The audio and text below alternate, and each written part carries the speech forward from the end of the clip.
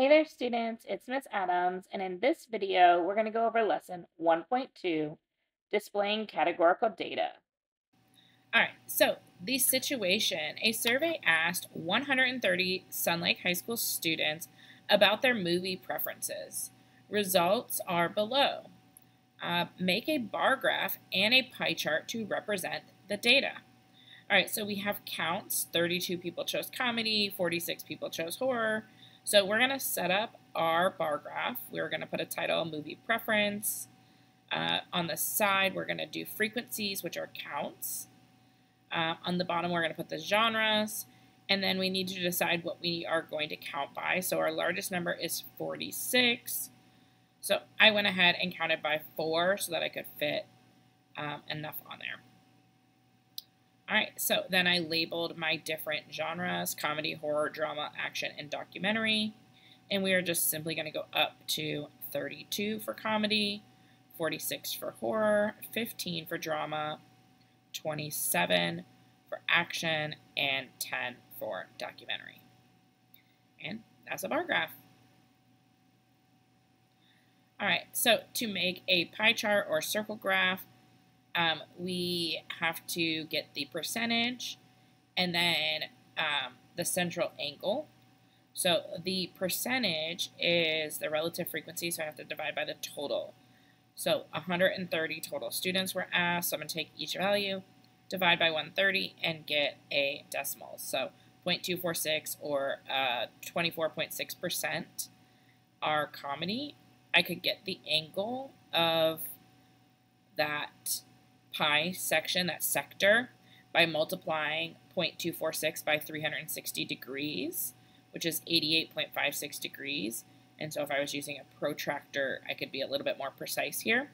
Um, I'm going to go ahead and just say, well, 24.6 is kind of close to about 25-ish percent. So I'm going to take about a quarter of my circle up with comedy. And I'm going to label it with the percentage 24.6 percent. Horror is 46 out of 130, which is 0.354. If I multiply that by 360 degrees, I get 127.44 degrees.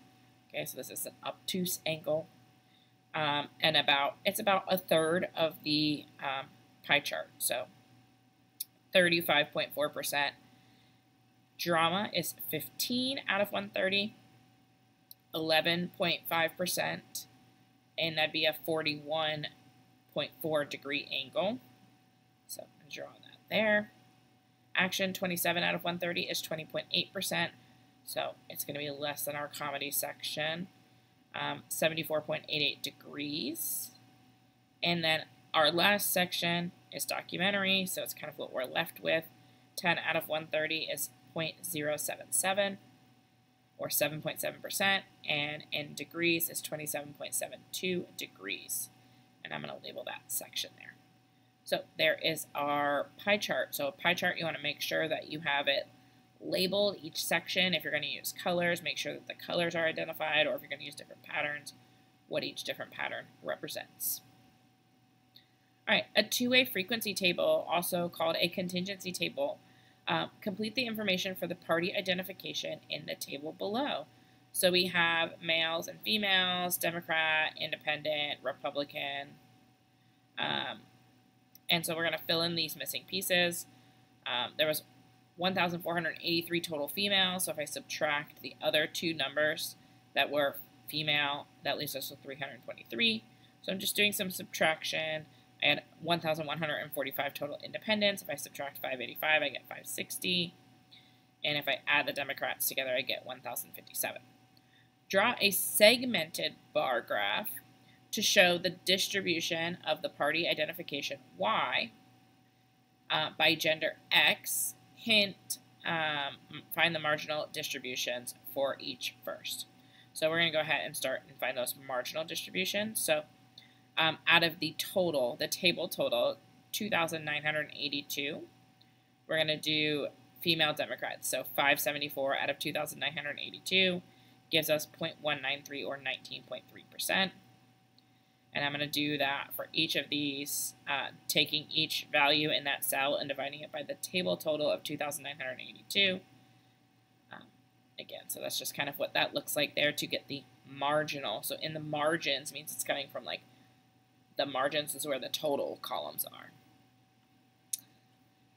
All right, so I'm going to put a title on my segmented bar graph, party identification. Um, uh, my frequencies here I'm counting by two. These are going to be percent, so relative frequency. And then for sex, I'm going to have male and female.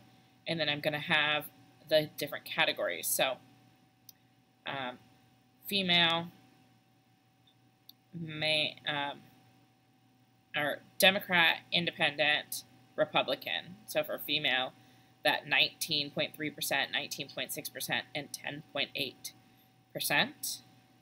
Male, we had 16.2%, uh, 18.8%, and 15.3%. So this is very similar to a stacked bar graph. So you can take one big bar out of 100% and divide it up um, or put them side by side. So a side-by-side bar graph or segmented bar graph um, also could be stacked to be segmented. And then I'm just kind of labeling here um, the Democratic Party, the Independent Party, and the Republican Party. All right, see you next time, and thanks for watching.